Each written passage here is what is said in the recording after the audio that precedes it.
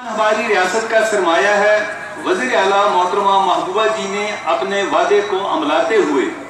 2008 से 2007 तक